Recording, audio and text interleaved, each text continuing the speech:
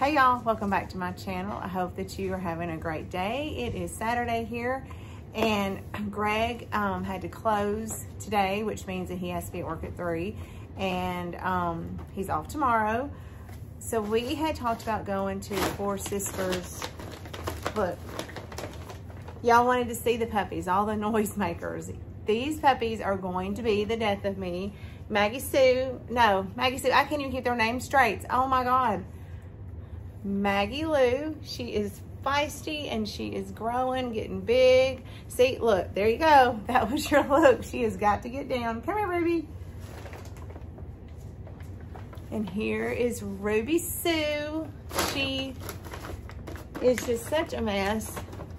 Needing her first haircut. We've got to get that scheduled.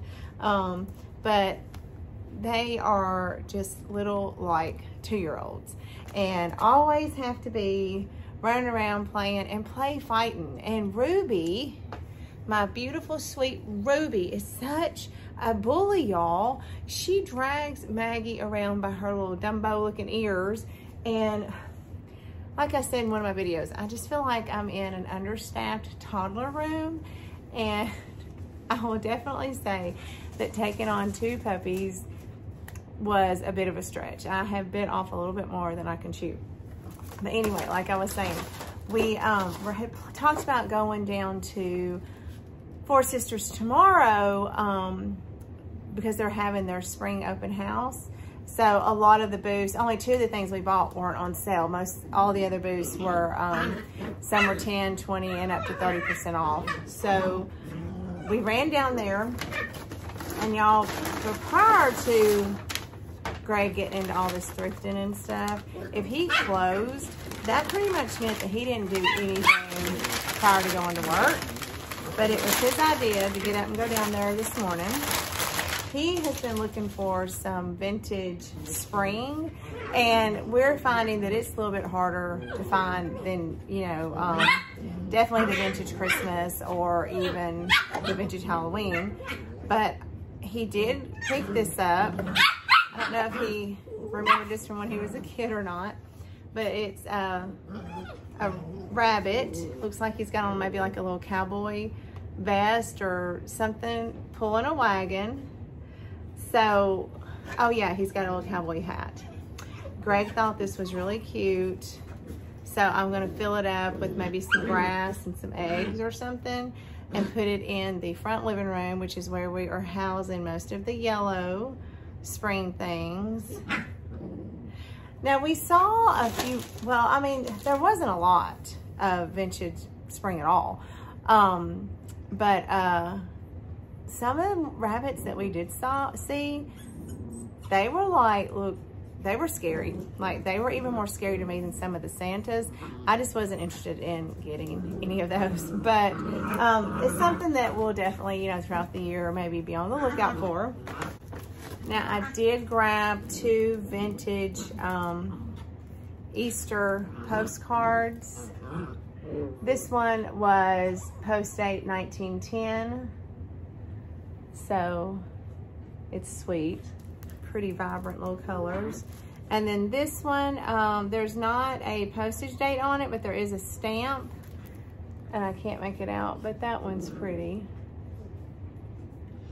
So they had a booth that had several more, but they didn't have stamps or they weren't written on, and um, they were like eleven fifty a piece. And so I didn't want to, you know, get anything that didn't have like a date or an actual, um, you know, documentation of how old they were on it. Let's see, they wrap up things so good. I don't even remember. Oh, so if you watch the old so-and-so, she had gone down, I, I don't know, maybe one day this week, her video went up this week, and she picked up some of these. Um, I did not know that there was, that these things existed, but y'all know that I like George Washington and the presidential stuff. So um, Greg found these and said, hey, isn't this what the old so-and-so got? And they're just old, um, let me see if I can take one out.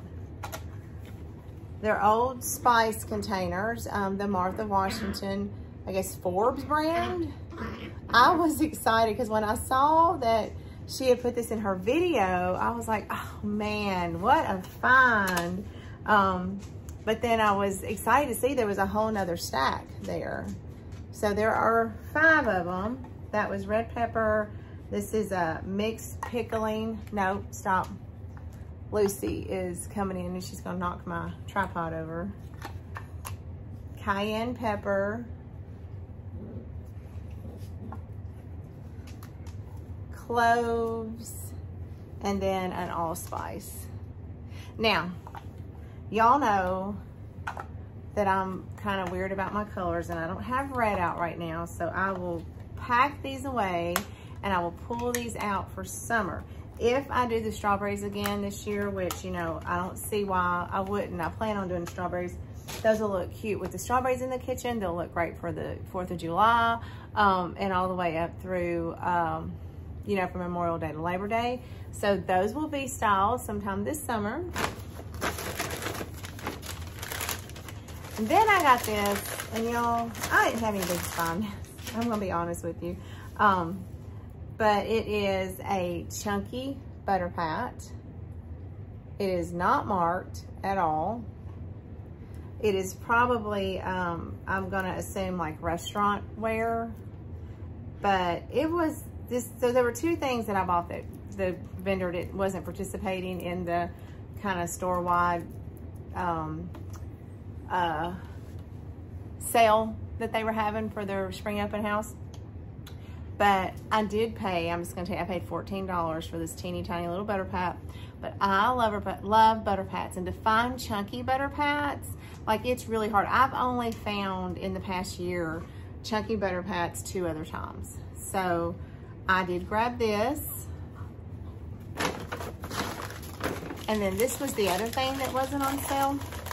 Now I have been looking for some of these and I did, I had found one in the Flow Blue, but it was, this one is um, not marked as well. But without saying that, I thought I love the agent on this, but it is a little teacup, one um, without a handle.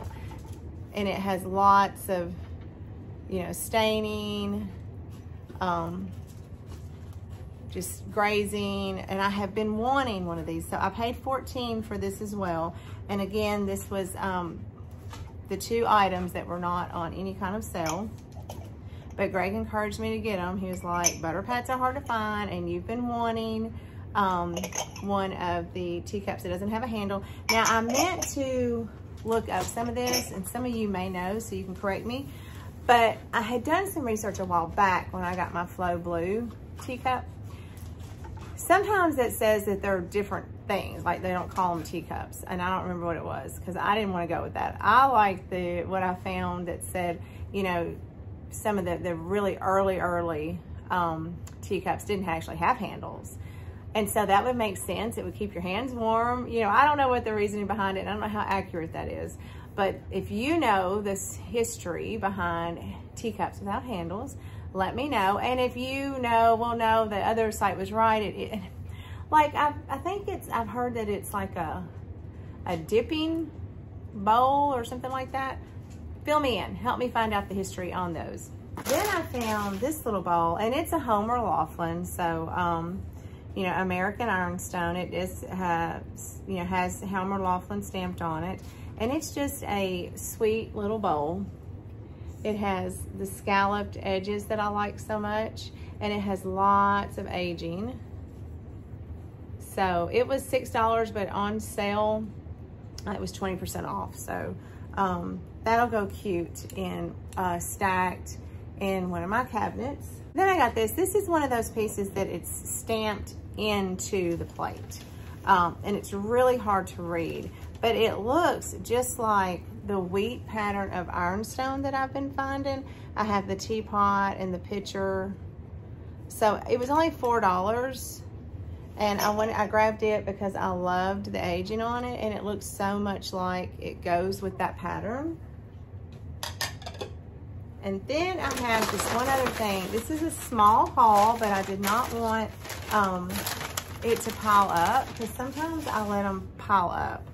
And you know, then it gets overwhelming. Now this is a Royal Crownford Ironstone, um, Weatherby Hanley, England, Royal Falcon Ware, and it does say wheat, and it does go with the teapot and the pitcher that um, I was able to thrift. And there's our mark.